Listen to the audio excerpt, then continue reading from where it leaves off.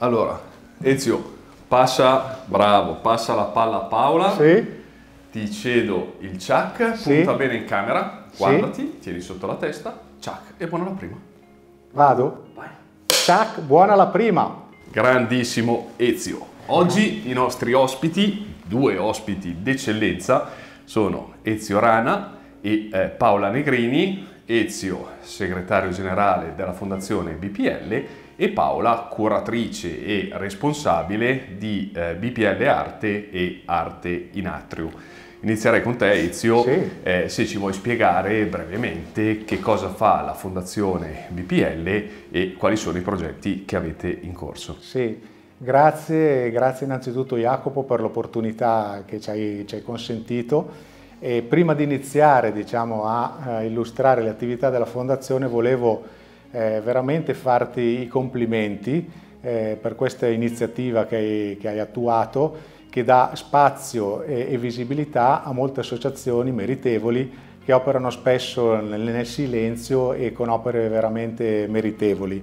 Quindi diciamo lo spazio che tu hai voluto riservare a questa iniziativa è sicuramente molto apprezzato e ritengo sia eh, doveroso farti i necessari voglio dire, riconoscimenti perché è un'iniziativa di valore. Quindi grazie perché dai spazio e visibilità a- al territorio lodigiano. Detto questo, eh, introduciamo diciamo, il lavoro e le attività della Fondazione. Contestualizzo un attimino diciamo, la Fondazione Banca Popolare di Lodi eh, dalle sue- dalla sua genesi, che la Fondazione diciamo, nasce eh, esattamente il 7 luglio del eh, 2008 eh, su iniziativa della Banca Popolare di Lodi, in seguito eh, agli accordi di fusione che allora intervennero eh, con la la Banca Popolare di Verona e Novara, dove nacque successivamente il Banco Popolare e successivamente, eh, diciamo con l'ulteriore fusione con Banca Popolare di Milano, il gruppo si è trasformato in Banco BPM. La sede della fondazione si trova presso il centro direzionale del Banco BPM a Lodi, in via Polenghi Lombardo 13. È un ente di diritto privato, eh, opera in totale, e- totale autonomia eh, operativa e gestionale. Ehm, La fondazione, diciamo, eh, fin da subito è stata luogo di, fin dalla sua nascita, luogo di, di relazione, di dialogo e di ascolto dei, dei bisogni, diciamo, del territorio. Eh, originariamente l'attività era stata sugli interventi, eh, a sostegno degli interventi, era stata eh, diciamo, programmata attraverso l'utilizzo del bando. Eh, quindi noi i primi diciamo, quattro anni eh, la Fondazione ha operato direttamente eh, con i bandi, quindi diciamo, tutte le associazioni, gli enti che volevano usufruire di contributi eh, partecipavano ai bandi diciamo, che temporalmente venivano messi, pubblicati e messi a disposizione eh, con i contributi naturalmente necessari.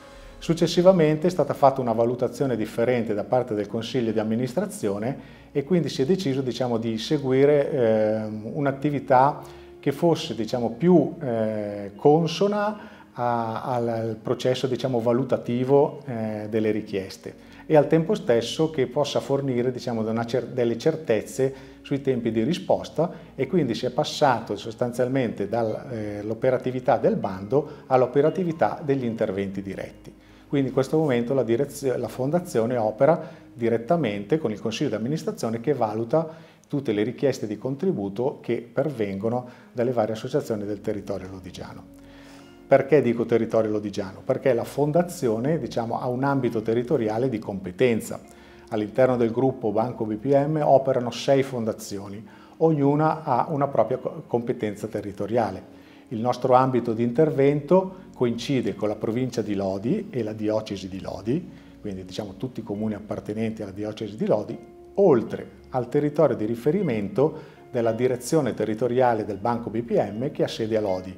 Questo cosa vuol dire? Che la direzione del Banco di BPM ha competenza sì sulla diciamo, provincia di Lodi, ma oltre alla provincia di Lodi, Pavia, Mantova, Parma, Piacenza e tutta diciamo, la Liguria. Quindi un territorio molto ampio sulla quale naturalmente la Fondazione si inserisce nell'ambito appunto degli accordi statutari che prevedono la possibilità di intervenire anche nel territorio di riferimento della direzione territoriale.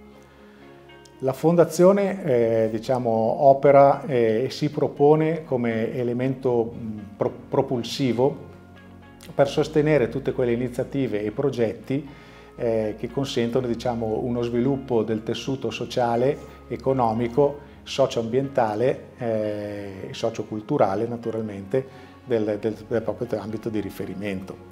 Eh, interviene nei settori dell'istruzione, eh, del culto, della ricreazione, eh, dell'assistenza sociosanitaria, eh, della tutela ambientale e della, della ricreazione quindi diciamo, un, ampio, un ampio, margine diciamo, di intervento caratterizza la, la, nostra attività. Noi possiamo operare in via eh, diciamo, prioritaria, autonomamente, oppure attraverso le collaborazioni con soggetti pubblici e privati appartenenti al terzo settore, fornendo contributi eh, a sostegno delle proprie iniziative e progetti. Eh, come elemento di sussidiarietà la Fondazione eh, legge i bisogni del territorio e impronta la propria attività per fornire ad essi le proprie scelte e le proprie risposte, le proprie azioni. Eh, prevalentemente si focalizza eh, su iniziative che promuovono e sostengono lo sviluppo della dignità della persona, eh, cercano di tutelare e diciamo, sostenere le situazioni eh, di, di, maggiore diciamo, criticità, eh, soprattutto che riguardano le fragilità della persona umana e cerca anche diciamo, di dare sostegno a tutte quelle iniziative che consentono chiaramente lo sviluppo eh, del territorio di riferimento. Nel, diciamo, dal 2008, anno di inizio di attività della Fondazione, fino allo scorso anno, quindi fino alla fine del 2022, la Fondazione ha sostenuto oltre 1400 progetti su tutto il territorio di riferimento, erogando oltre 17 milioni di euro.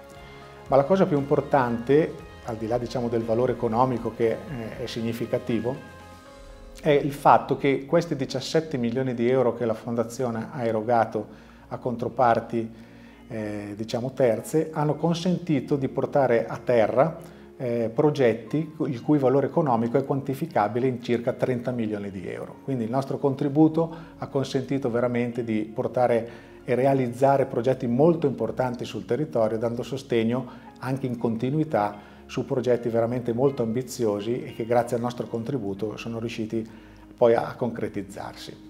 Perfetto Ezio, io tra i vari progetti che non hai citato vorrei sottolineare per esempio la vostra partecipazione nel progetto dell'Emporio Solidale che ricordo avete eh, contribuito a eh, formare a Lodi, giusto? Certo. Che quello è un bellissimo progetto, io ricordo di essere stato all'inaugurazione per voi per eh, realizzare il filmato ed è stato veramente un qualcosa di interessante, ha coinvolto più associazioni e più Ti enti del terzo. Jacopo per aver ricordato questo, questo, questo importante progetto che tra l'altro valorizza proprio un progetto di rete territoriale, è proprio il vero progetto di rete territoriale che la Fondazione è riuscita diciamo, a portare avanti sulla, eh, sulla, divenendo socio diciamo, fondatore della Fondazione di Partecipazione Casa della Comunità, congiuntamente all'Associazione Progetto Insieme, al Movimento per la Lotta Fame nel Mondo, a Caritas Lodigiana e a ehm,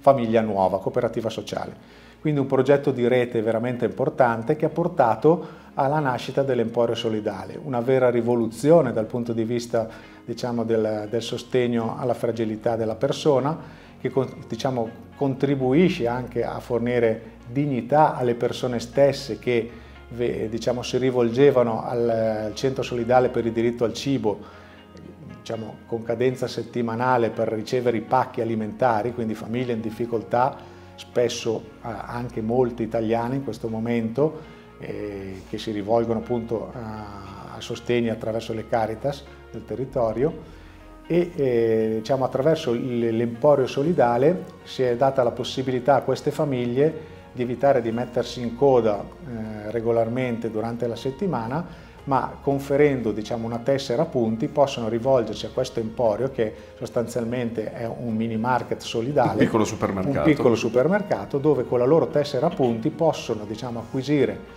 i prodotti diciamo, di cui necessita la famiglia per il loro sostentamento. quindi fornendo dignità alla persona e al tempo stesso fornire anche un'educazione diciamo, sia finanziaria sia diciamo, di tutela della persona. Quindi è un progetto diciamo, molto ampio e, e che richiede chiaramente un sostegno particolarmente significativo dal punto di vista economico, molti partner, diciamolo, anche diciamo, imprese molto importanti diciamo, nel settore food, stanno contribuendo e fornendo diciamo, il proprio supporto perché le, il numero delle famiglie che regolarmente si rivolgono all'Emporio Solidare è in continua crescita.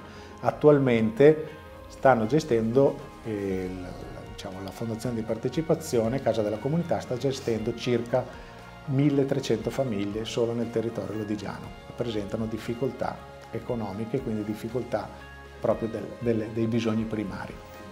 Ecco, tu hai parlato di fare rete, poi arriviamo anche da te Paola, eh, hai parlato di fare rete e su questo eh, ricordo un altro appuntamento che organizzate tutti gli anni che è la giornata del volontariato e quest'anno ho avuto il piacere di partecipare anche a quella ed è stata veramente una, una bellissima giornata dove l'interazione tra tutte le varie associazioni eccetera eh, ha portato a qualcosa di, di, di bellissimo secondo certo. me. Certo, la giornata del volontariato è un appuntamento diciamo storico eh, ideato dalla nostra fondazione attraverso la collaborazione del Centro Servizi Volontariato, della quale la Presidente è Luisella Lunghi, altra cittadina di Sant'Angelo, eh, e quest'anno per la prima volta siamo riusciti ad allargare la rete collaborativa eh, coinvolgendo la Fondazione Comunitaria della provincia di Lodi, organizzando quindi un evento molto sentito, molto atteso da tutte le associazioni di volontariato. Quest'anno abbiamo avuto la possibilità di ospitarne 80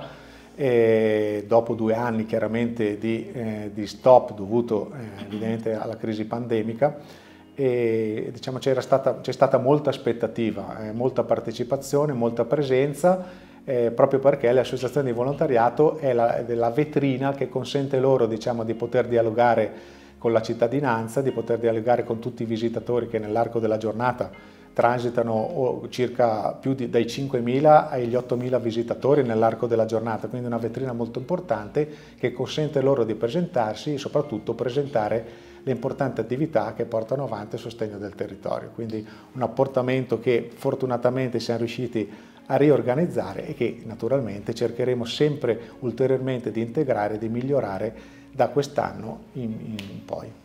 Perfetto, allora Fondazione BPL non è comunque solo solidarietà, ma è anche arte. E in questo caso intervieni tu Paola con eh, la BPL Arte, quindi uno spazio espositivo sempre eh, nello spazio Tiziano Zalli, quindi eh, dove c'è diciamo, la, la, sede della, della, BPL di Lodi eh, e oltre al, eh, alla, mm, alla sala espositiva c'è anche un altro, un altro piccolo, piccolo spazio. spazio. Vabbè, parlaci di tu, facciamo prima. Allora, ehm, grazie. Eh, la Fondazione Banca Popolare di Lodi ha fra i suoi obiettivi anche la valorizzazione culturale, storica, artistica del territorio e da un lato eh, sostiene eh, associazioni, enti che eh, si occupano di questo tipo di attività, dall'altro è, è, intervenuta negli anni anche direttamente. Uscendo un attimo dalla questione BPL Arte e Arte in Altro, per esempio nel mondo dell'editoria abbiamo pubblicato una collana di eh, volumi dedicati ai tesori dell'Odigiano, alle bellezze artistiche dell'Odigiano, eh, quindi non solo sosteniamo chi le pubblica ma l'abbiamo fatto anche noi. E per quanto riguarda specificamente il mondo dell'arte siamo intervenuti con eh, la, questa possibilità per gli artisti locali e non solo perché abbiamo avuto anche esposizioni a livello internazionale eh, di questi due spazi, diciamo uno spazio un pochino più contenuto che è quello della nostra eh, sede operativa dove noi lavoriamo, dove ci sono i nostri uffici e che mh, mm, è, di fatto è l'atrio della nostra sede e infatti la rassegna si chiama Arte in Atrio e mm, dove organizziamo mm, alcune mostre appunto di carattere un po' più un po' ridotto se vogliamo. E poi abbiamo quest'altro spazio di 800 metri quadrati che è la BPL Arte, eh, dove appunto ospitiamo ehm, artisti, associazioni culturali, associazioni artistiche che vogliono appunto esporre le loro opere. Ehm, in particolare la BPL Arte è uno spazio, come dicevo, di 800 metri quadrati dove c'è disponibile anche un bookshop di libri d'arte, ma non solo, perché ci sono anche romanzi e altri tipi di libri. E c'è uno spazio dedicato alle conferenze che adesso sta ripartendo perché ovviamente con eh, il Covid abbiamo dovuto sospendere un po' tutto, abbiamo eh, limitato molto anche le inaugurazioni, insomma è stato un po' un, po un momento complesso. Ehm, quindi adesso stanno ricominciando anche ad esempio le conferenze, per cui fra poco presenteremo, le presenteremo nei prossimi mesi. E, e, poi abbiamo appunto una hostess sempre disponibile, una nostra collaboratrice esterna che eh, si occupa proprio di tenere aperto lo spazio e di, ehm, eh, di curare il bookshop. Abbiamo avuto, noi, è dal 2011, non è da subito che abbiamo iniziato a fare questo tipo di attività, abbiamo portato 160 mostre fra BPL Arte e Arte in Atrio. Ricordiamolo, tutte gratuite. Tutte gratuite. Che non è una cosa che... da poco al giorno sì, d'oggi. Sì, sì, allora noi mettiamo, mm, mettiamo noi mm, gratuitamente a disposizione lo spazio e poi comunque anche i visitatori, a parte per il caso del Festival della Fotografia Etica che è una cosa eh, particolare, i visitatori entrano gratuitamente a vedere, a vedere le nostre mostre dicevo appunto oltre 160 mostre, mh, oltre 100.000 visitatori, perché poi li contiamo anche, quindi abbiamo anche questa, questo valore. E, e, niente, per cui diciamo che eh, sostanzialmente si è offerto alla città uno spazio espositivo mh, che spesso è venuto a mancare, ecco, per cui siamo entrati un po' a far parte del circuito dei luoghi artistici della città di Lodi e comunque del Lodigiano. Ecco, si è appena concluso il, fest, no, festival, il concorso di xilografia, eh, quali saranno i prossimi Adesso appuntamenti? Alla, alla 31 mm, eh, di, di marzo, venerdì 31 marzo, inauguriamo eh, la mostra di Angelo Noce, che è un artista cremasco ma che ha appunto esposto già in tutta Italia e a Lodi è già stato altre, almeno due volte, se due volte in altri spazi negli anni. E poi invece il 29 in, eh, nel nostro spazio Arte in Atrio eh, inaugura Mario Diegoli eh, con, anche lui con una mostra dedicata ai paesaggi. Lui è uno scultore, fondamentalmente crea delle installazioni e so, saranno delle installazioni adatte create per il, nostro, per il nostro spazio che è un pochino più contenuto rispetto alle opere che lui fa normalmente. Perfetto, io eh, non posso far altro che ringraziarvi di essere stati qua con noi, eh, vi ringrazio per ciò che fate perché eh, quello che fa la fondazione e quello che ha fatto anche a livello personale, sinceramente non posso far altro che ringraziarvi perché nel momento del bisogno siete stati vicini e quindi questo è molto apprezzato e ehm, oltre a questo non posso far altro che invitare i Sant'Angiolini e non che ci vedranno a partecipare a queste bellissime mostre. Io ho partecipato a mostre fotografiche, mostre di pittura. Sì, sì. Eh, ce n'è di, tutto, di tutto e per tutti i gusti, esatto. quindi invitiamo tutti a venire a trovarvi in BPL Arte sul sito della Fondazione BPL piuttosto che sui social eccetera, sì, sì, sì. trovate tutti gli aggiornamenti su tutte le nuove mostre e tutto quanto pagine Quindi. social sia per BPL Arte che per Fondazione Banca Popolare di Lodi, per cui si possono vedere le iniziative esatto. entrambe. Jacopo, grazie. A nome anche del Presidente Duccio Castellotti e di tutti i componenti del Consiglio di amministrazione, un ringraziamento particolare a Sant'Angelo TV per l'opportunità che ci ha fornito di poter eh, rappresentare le attività sia diciamo, in ambito tradizionale della Fondazione, soprattutto nell'ambito artistico, eh, curato in modo direi eccellente dalla dottoressa Paola Negrini. Grazie ancora. Grazie, Grazie. a voi.